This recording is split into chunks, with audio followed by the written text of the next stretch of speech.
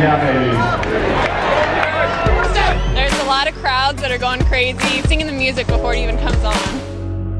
The energy in the stadium is unbelievable. Nothing like we've ever seen before in America.